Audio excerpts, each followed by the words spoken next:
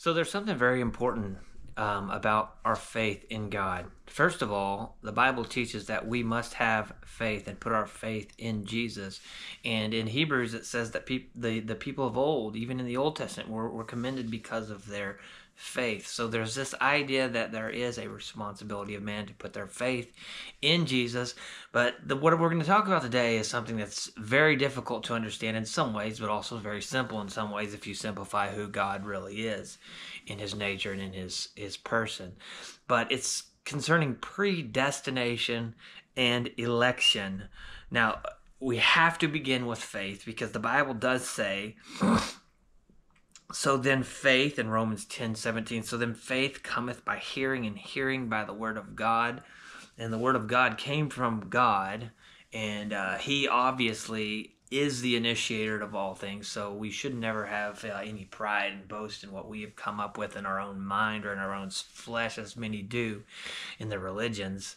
Uh, their their wisdom of men, their doctrines of men. We don't want to be in a religious group like that in many ways in, in all ways that is a cult. If it's if it's of you and by you and for you um, it's not of god.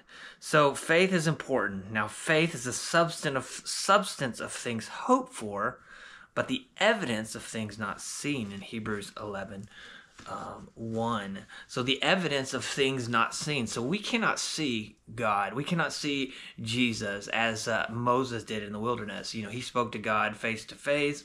You know, there was a burning bush. Now, obviously, every time you speak to God, or every time there has been someone in the Bible who spoke with God, or wrestled with God, or whatever with God, or went into the temple or the tabernacle, and they went to the holiest of holies, and God came upon them, it was always in an earthly form. It was either in the form of fire, a burning bush, a tabernacle, in the form of Jesus, which is his son, which is God. Um, and you have to realize that because if you actually saw Jesus face to face, you would die. You would you would immediately die. You would have to fall on your face, and you would die if you looked on him because he's that holy, he's that righteous. But how does election come into play with, with man's responsibility? So God, in His Word, all over calls us to believe. In His Word, all over, He calls us to put our faith in Jesus. But there's this very interesting thing in the Bible that um, it seems to also make the argument that there was a plan before time began that God had elected some, that God had predestined some. Um, for example, you know, you got John the Baptist, and then you have Jesus, and, and the babies are kicking in their womb. There was a plan for both of those babies before time began and and the moms were even told about it before the babies would so there's there's this futuristic god who can almost time travel. There's a god that can go back in history and go back to the beginnings. And you know god if you if you think about god and this is this is i think important for you to realize when you're evaluating all of these complex components in the Bible is that you have man who's stuck in this time zone of time. You have man who's who who, who we can see only the present and the past in what we've experienced, but we are given tidbits of prophetic future events. And I think one thing we have to realize is that those tidbits of future events that are predestined will come to. They will come to pass because God is a God that you know He can get in like a time capsule and go back to the history. He can get in a time capsule and go to the future because He is the first. He's the last. He's the creator of time. So if we limit Him and say, well, something is predestined, we are actually saying, well, God, you know the time past you know the time in the future. You know what will take place. You know what has taken place because you are time in and of itself. In some ways, God cannot be bound by a predetermined future. Now, now, what am I? What am I saying by that? So, if your name, your name, like put your name in this blank, such and such dot dot dot will do this. Okay, now if you can find in the Bible your name written, okay, and it says something about your name and that you will do this in the future, well, you can pretty much guarantee that that is predestined to happen, that you are elect to do that. And the Bible is very clear about that. There were some people that were elect to do certain things in Scripture. For example, maybe Judas, in, some ways, was was kind of elect to be the betrayer, or maybe um, Peter was was elect in some ways to to deny Jesus. Maybe the twelve apostles were elected sometime to become the twelve apostles and, and do what they were going to do. Uh, maybe not. You maybe you couldn't go that far because the Bible did say that they left their nets, that they left what they were doing and they followed Jesus, and and there is some aspect of human responsibility in that. So maybe I'm going too far with that, but there is things in the Bible that alludes to a predetermined plan for some. And they're written down in scripture for those people. Now, if your name is not written in the Bible, you can't say that about you because you don't know, you haven't been given a vision of the future. You haven't been given a vision of God who is timeless, who is the beginning and end, and knows what will happen or take place in the future. Now, if, if you were if you were to have been given that through the God's word, then you can pretty much predetermine that that's what's going. You can have a predestined plan or idea, or you have an election at some point to do something, and there's nothing you can do that can change that. Um, but you your name's not written in there like that. Now, I'm, why am I saying all these things? You may be confused as if this is something nutty that you're hearing. So let's go ahead and go into the Bible and let's let's read some of these eh, important verses that I'm talking about, such as like uh, Jeremiah chapter 1 verse 5. It says, "Before I formed thee in the belly, I knew thee, and before you camest forth out of the womb, I sanctified thee, and I ordained thee a prophet unto the nations." So there was a prophet he was written about, and he was writing, and he's writing about the predestined plan of that prophet. Okay, let's let's go to another one. Um, let's look at John, John chapter fifteen, verse sixteen. Ye have not cho- you have not chosen me but i have chosen you and ordained you that ye should go and bring forth fruit and that you that your fruit should remain and that whatsoever ye shall ask of the father in my name ye may have it you he may give it you. So you haven't chosen jesus. He chose you. So I mean, it almost it almost goes in the complete opposite direction. Like when you're reading scripture and it says, "Put your faith in me," it's almost like, "Well, you're cho- you're choosing me." Well, yes and no, because God is obviously knocking. You know, God gave His word to you. He's the one drawing you in, and by you saying yes to Him, does that mean you've chosen Him? No. So you have to distinguish the difference between you choosing God and having faith in God. They're different. And so then we have to go to that verse about faith being a gift.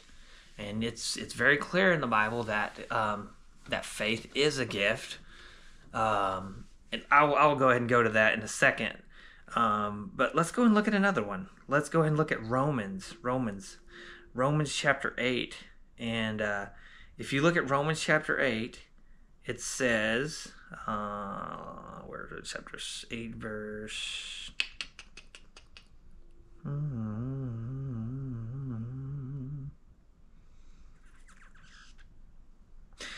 Romans chapter 8, verse 29. For whom he did foreknow, so f- from whom he did foreknow, like he foreknew you, he also did predestinate to be conformed to the image of, of his son, that he might be the firstborn among my many brethren.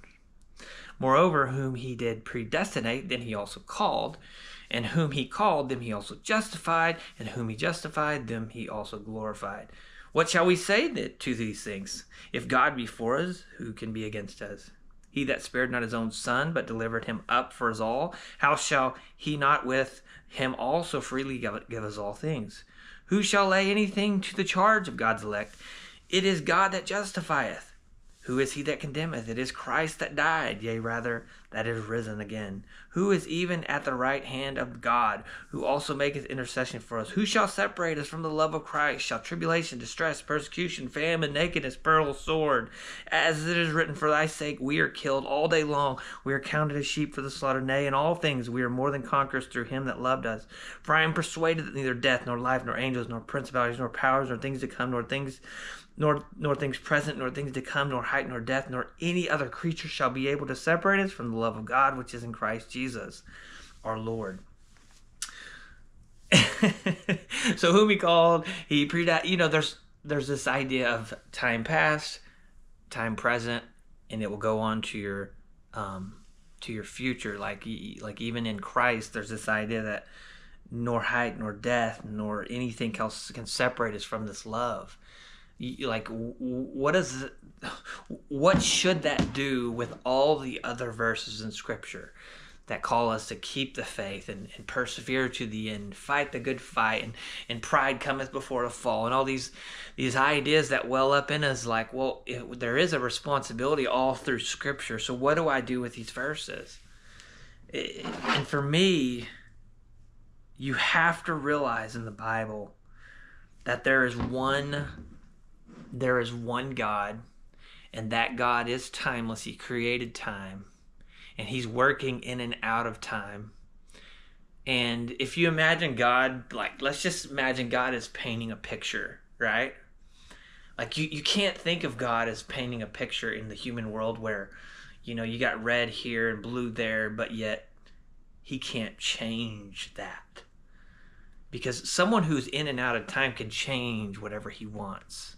Does that make sense? Like someone who is in the future but can go in the past can change the past. Someone in the past can give you a vision of the future. But if you're in the future, beyond that future, you can change what is beyond in your future. It, it, it, I know it becomes confusing in some ways, but but God is is timeless. He's he's he's he persists through all periods of time.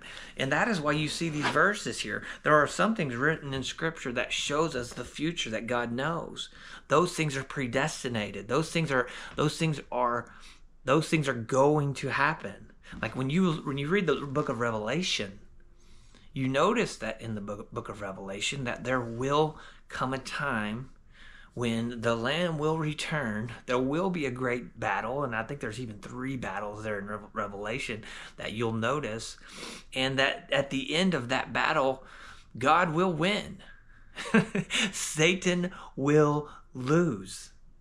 And all those type of things that were given of the future I think we should see that as a plan of God, as a time that will be pre that is a predetermined plan because God has given us a vision of the future. He's giving a, a vision into a timeless thing that will happen. And this is why we see election and predestination in the Bible and and we should never ever ever and this is my this is just my opinion but it's almost as if it's fact in some ways to me.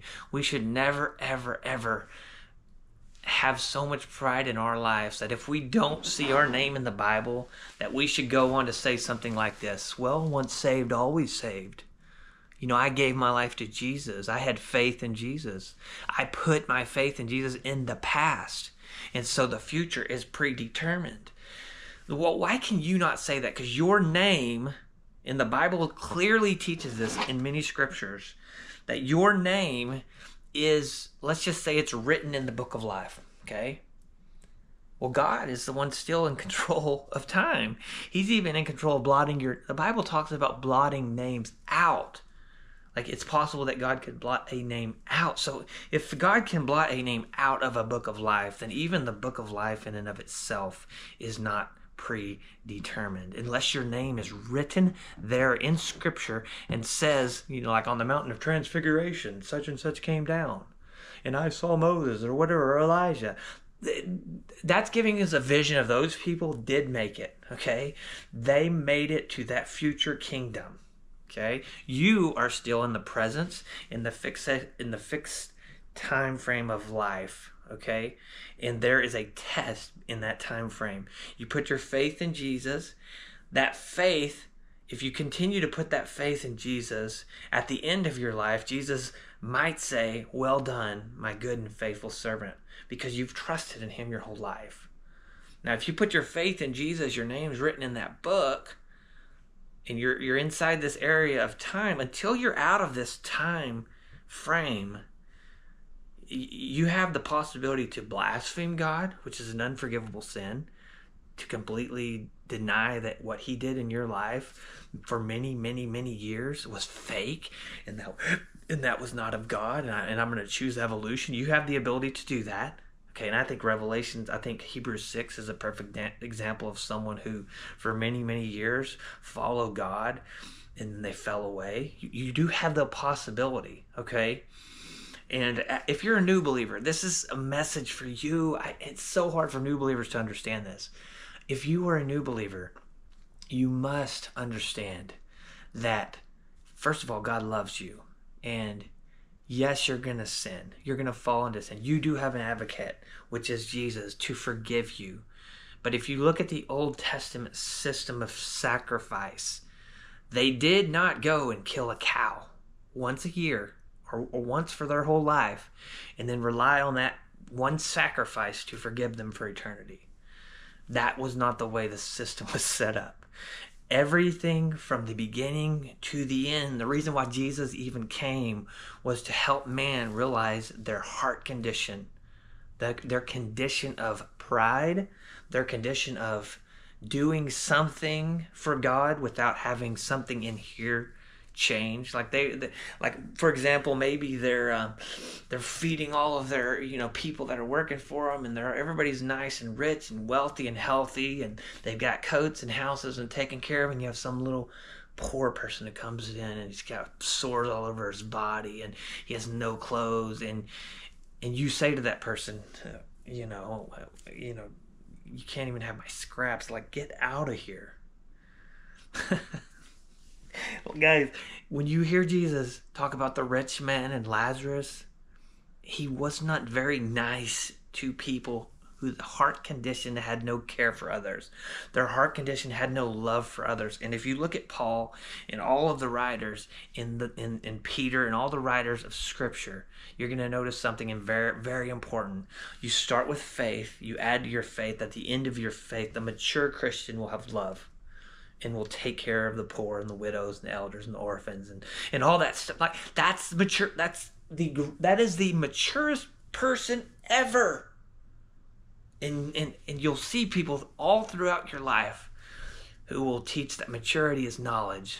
That maturity is is the blessings of God. That you're going to receive some type of blessing. If you give more, you'll receive more. And they'll they'll think that the that, that maturity is somehow in a, a visual representation of your wealth, or maybe they'll see that your maturity is in you know how big your chest is puffed out in your church you know like how much better you are than everybody else and and how many people you've went and visited and how many people you've went and prayed for and how and how much money you've given and all these things okay? No none of like maturity is in how well you love god and love your brother at the end of this life Okay? My biggest challenge is taking Jesus' word where he says, Woe, you hypocrites. And he just goes over and over and over with all of his woes. And it's it's it's jumping into the seat of Jesus as the judge, as the one who is condemning and writing that condemnation with Jesus. And, and I do think a little bit of that is, is extremely important in the church. Like we should judge people inside the church but I'm, I'm specifically talking to outsiders. Like when someone comes into church, they they really don't believe in Jesus. You can tell they don't really know Jesus. Maybe they say they love God or something like that, but they don't really know Jesus, and you know that. First of all, a lot of people don't realize that or, or can can discern that in people. They think everybody's saved because they're they're an American or whatever. But it's important to leave the condemnation at home when you see those people because maturity in and of itself will see that person and they'll love them Okay, and that's what God does with us. He chose us while we were yet sinners. He's choosing them while they are yet sinners. Your condemnation is not helping. So just know that before time began, if you want to look at predestination or election or all these things, like look in the Bible. If if it's written in the Bible, those things are predetermined. They're predetermined. Those people did have an election. You can see the future. You can see the past. You, if your name's not written in there, there's no predetermined plan, election, or anything for you. You know, you know, God in time future and time past may and could write a book, right? And and could write your name in there in the future. He could because he's he's in the time present and time past, and and he's he is the A and the Z and the Alpha, the Omega. He's the one in and outside of time, so he could, and and he does. And and another thing you have to you have to you have to also realize this like some people want to put God in such a box and say, you know, well, God has predetermined me to be this type person or whatever. And, and they like to write their own books about God and say, this is what God, you know, God, you know, he, he once once saved me at the altar. Now I'll never, and he, that's the same for you. And they like to predetermine all these things for their congregation. And they like to put God in these little these little boxes of time because that's what they live in and that's what they understand things through. If you understand that God is not looking through a box of time, which is almost impossible to understand because that's always that's what all literature is. That's what all time is. It's it's us seeing the past and the future. We need to understand that God is a God who is he's painting a picture, he's working out. He's working on a, on a perfectly beautiful plan okay? And and he is time. That that plan is that is timeless okay? He can change it if he wants. If he wants. He's not a god who changes but he can change things. Like if if you think that god if you think that you can close a door and ignore all the babies crying in the other room but you don't think that god can close a door and ignore you because of your sin you've put God in a box, and He's less than you. He's actually less than you. You you're putting the all-knowing, all-powerful God, and you're making him so small that he couldn't even close a door. Unbelievably small. If you're putting God in a box, and you're saying that God, um, that God only must keep some promise because one person put their faith in him a long time ago, then you sure, sure, sure better know that that's a promise in Scripture. And a lot of preachers, I'm going to tell you right now, when they look at a promise, they leave out all of the things describing the people of that promise. And uh, if you if if you know anything about conditions, uh, everybody wants to say, well, God loves me unconditionally. He loves me unconditionally. And they love that word about God, the unconditional love of God. And it just, you know, there's songs about it. If you leave out all conditions, all conditions, and you leave out faith, you leave out belief, those are conditions, then you've left out the Bible and the God that you believe in, you put him in a box because you have an idea of love that isn't true. I'm just being honest with you. If you really want to know who God is, read his word. If you really want to know who God is, read his word, apply his word and understand his word. Because the sheep they they hear him, God knows them, and they follow him, the shepherd, which is Jesus. Nothing can snatch them out of his hand. If you want to know what security looks like, if you want to know what the pre what predestination looks like, find yourself in the hand of God. Follow him. Make sure he knows you. Okay? And hear him. Like hear him. Make sure he knows you and follow him. Like you will find in that, and it's written in scripture, that nothing can snatch you out of his hand. Like that's security. Okay? That's predestinating yourself to if you'll be in that condition, that condition, that there are promises in Scripture. But if you say, "Oh, there's no conditions," and you fall right back into your sin, you don't know God, you don't hear Him, you don't follow Him. You love your money, you love your things, you love you you you, you boast in the way you speak, the way you understand things, the knowledge that you have. I'm sorry, you are stupid. I'm stupid. We are all unwilling at many times to realize how much greater he is than us. And that's why we when we read something about all of these verses about predestination or election, that's why we get pride in ourselves and we start saying, well, I, I'm definitely one of those elect people, you know, definitely, because, you know, I said yes to Jesus, but I mean, he really chose me.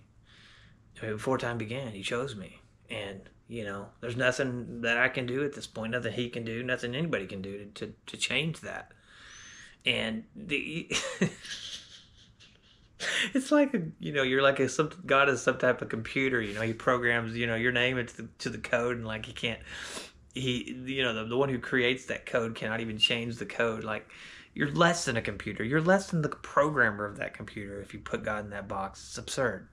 But in many ways i love those people too. I love the fact that people sometimes you know they they juggle with these these concepts because if you don't juggle with them if you don't juggle with the concept that God is timeless, if you don't juggle with the concept that yeah, there was some people elected and predestined, you're gonna come to an idea of Bible that you know it all. Like some people in some congregations, they become so legalistic that it becomes about you and your works. And well, if I'm good enough, if I'm good enough, then God will say yes to me. If I'm if I'm not very good, then God will say no. And so then you start evaluating what's too good, you know, or what's too bad and what's good enough. if that's what you're thinking in your mind, you've missed it. You've missed it. It's not about being too good or being too bad. It's about accepting Jesus. It's about believing in Him and worshiping Him at His feet and trusting Him every day when you wake up. Not looking back at the time you said yes, but yes, you did say yes. You did receive your, you were born again. And today I will follow Jesus. Tomorrow I'll wake up and follow Jesus. The next day I'll wake up and follow Jesus. What Jesus, what can I do today? Jesus, what can you do today? Jesus, I pray for these people because I know that you're hearing those prayers. And one day, like this, these prayers that maybe not have been answered are stored up in a bottle, as it says in, in Revelations, and, and they'll be lifted up to heaven the incense of those prayers because I believe your word and I know that you're able and I will trust you. You guys, I hope this helped a little bit. Um, I don't know everything. Like, open God's word and read it for yourself. Understand it. Struggle with it. We all must, as as uh, Israel did, we must all wrestle with God at some point in our life and wrestle with these scriptures. Because if we don't wrestle with these scriptures and we don't, you know, maybe our hip gets beaten down, or maybe we'll walk with a limp, or you're going to be proud your whole entire life. You're to be so proud and unfortunately you might miss you might miss God's plan for your life because he desires that and this is verse this is in the scripture you can't leave this out. He desires that all would be saved. And he's made a way through the gospel that all would receive faith in him. And he's given all the ability to either say yes or no okay there there may be some type of election stuck in your brain that you can't get over and you you you, you give god all this um well if he elected this to happen for the good he must have elected this to happen for the bad and you you make god out to be this evil being that determines the bad and determines the good and you've stuck him in this box of time instead of realizing that you're stuck in time and that he has given you a responsibility he has given you a way. He has given a way for you to be saved. And if you if you reject it, the one that is timeless will reject you. It's as simple as that. And God, who is love, and he died like literally like he had to come and die because that's what love is. Like love is the greatest act of love is someone who laid down his life for his friends. Like like he literally had to come and die for you to show you that he loved you. And if you're not willing to let god the one who loves you love you then while you're burning in hell while you're apart from god and you're and you're trying to give your brother a drink. Or, or you're trying to give your brother a drink in heaven or, or you're trying to come out of heaven come out of hell to go tell your brothers that this is this is a real place. Like there's going to be a great gulf fix between heaven and hell and you're not going to be able to do it, then today is the day you can say yes to Jesus. Today is the day you can warn your family, your friends, your brothers, your sisters. Today is the day of salvation, the Bible says. And the, the way that you can have salvation in Jesus is to trust Him. The way that you can become part of this plan of God. The way that you can be part of this predetermined, predestined love of God is to say yes to Jesus. If you haven't said yes to Jesus, it's very simple. Fall on your face as the wise men did, the Magi did when they came and saw the little baby Jesus and they worshiped. Worship the God who loves you enough to die for you. And thank Him for saving you and trust Him every day from that point forward. He said He will send you His Holy Spirit that will help you the Holy Spirit will guide you, the Holy Spirit will direct you. But if you reject it, it's just like Adam and Eve in the garden. Like, if you reject God because of your sin, you know, God, He can close doors. Like, in the garden, like, He's Adam, Eve, where are you? And they clothed themselves, they were ashamed you can become ashamed of what you're doing. You can become condemned by your sin. I love you guys. Um, just realize who God is and what He wants to do for you. Like, bow your head, surrender your life. Today, be born again. Remember the day you were born again. And then, follow Him every day from that point forward. Love you guys.